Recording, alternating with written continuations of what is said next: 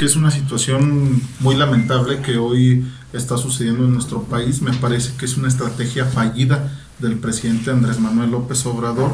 No, no digo que no esté bien el planteamiento, me parece muy importante que se tiene que atacar la corrupción desde dentro de petróleos mexicanos, sin embargo me parece que el planteamiento como lo ha venido dando no es lo correcto.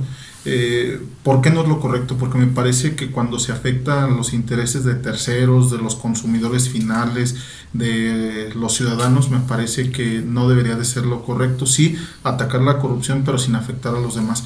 Hemos visto un desabasto tremendo y enorme en todos los rincones de México, pero principalmente en ocho estados de la República. Guanajuato es el estado más afectado.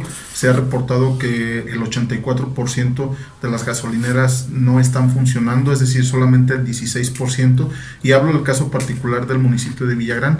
Hoy Villagrán se encuentra sin gasolina, no hay cómo abastecernos. Esto se empieza a convertir en un caos social, político, económico y hasta de seguridad. A mí me parece muy importante que el presidente Andrés Manuel tiene que atender de manera urgente esta situación sin, sin eh, señalar la corrupción, sin dejar de señalar la corrupción que hay dentro de petróleos mexicanos.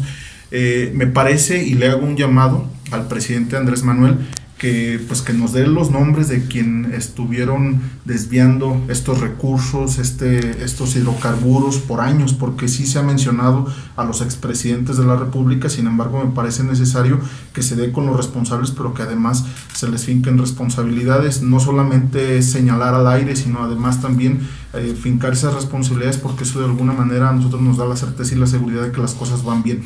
Me parece bien, buen, buen el planteamiento, sin embargo la estrategia tiene que corregir, corregirse porque si no, eh, lo voy a decir como se dice coloquialmente, si no al rato va a salir más caro el caldo que las albóndigas. Y a mí me parece muy importante pues que esto se corrija porque pues de alguna manera si no lo hacemos los problemas económicos pudieran ser más grandes, pudiera elevarse los productos de la canasta básica porque cabe destacar que hoy los productos de la canasta básica y todos los productos que consumimos los ciudadanos pues este, llegan a través de, vehículos, a través de combustible, a través de, transporte, de logística y eso implica por supuesto el consumo de, gasolina. De manera urgente, yo por ejemplo decirles que he tenido algunos días de asueto en la Cámara de Diputados y que el día de mañana pasado pues ya tenía planeado mi regreso a San Lázaro, a, a la Ciudad de México eh, pero bueno, ya no tengo combustible, no tengo cómo moverme y seguramente pues lo haré por transporte público. Espero que de mañana pasado